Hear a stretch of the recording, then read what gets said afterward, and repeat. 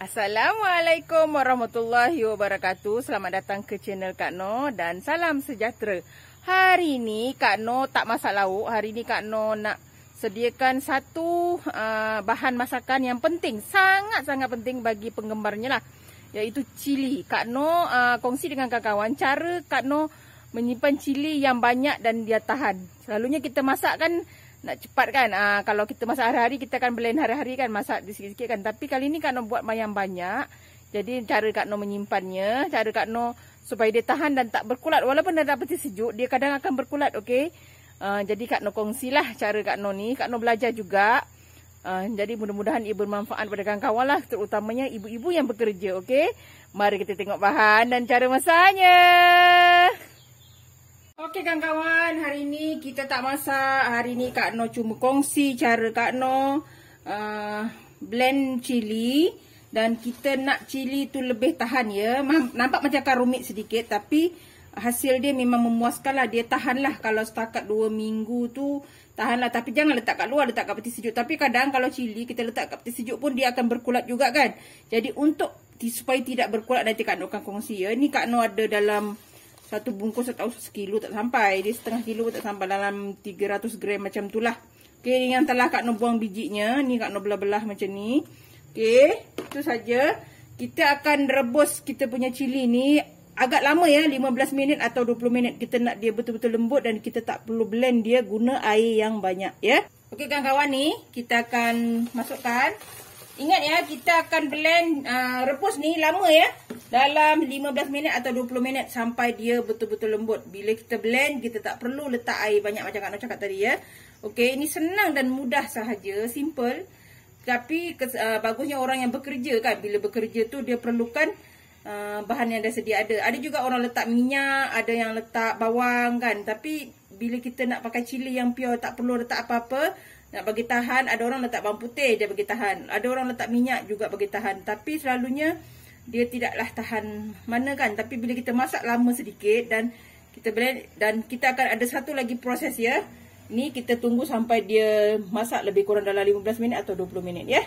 Okey kawan-kawan ni dah 20 minit ya. Ni kita tutup, kita bersihkan dan kita akan blend ya. Ni dah siap. Ni dia dah kembang ni. Jadi kita blend nanti tak perlu guna air banyak ya.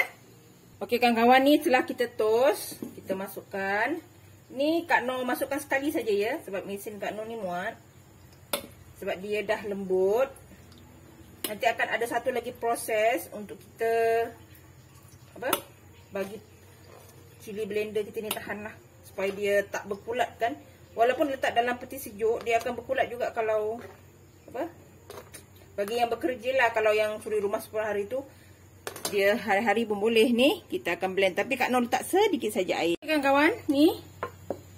Ada satu lagi proses ini yang telah kita blend ya. Kita akan masukkan di loyak. Okey, ni Kak Noh dah masukkan.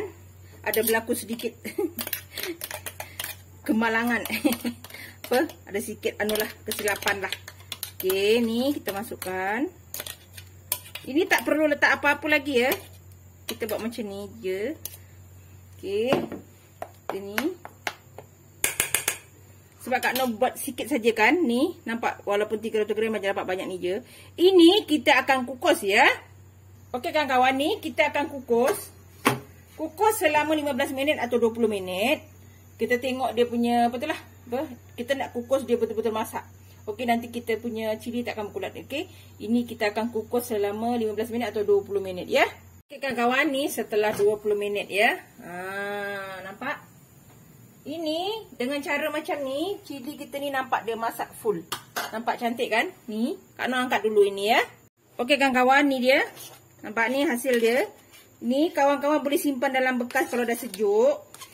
Uh, dalam tupperware ke dalam apa ke yang bekas kawan-kawan sukalah. Yang ini uh, memang insyaAllah dia tahan ya. Dengan cara macam ni kita bolehlah simpan dalam 2 minggu kan dalam peti sejuk insyaallah dia tidak akan berkulat ya. Sebab ini dia akan sebab kita dah masak.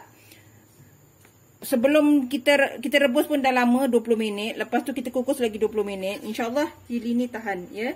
Kita tak perlu letak separuh orang dia letak minyak untuk bagi tahan. Ada yang selalunya letak bawang putih kan. Tapi kita kalau kita kalau masak benda lain, kita tak nak lah macam ada rasa bawang atau apa kan. Jadi kita nak chili fio macam ni.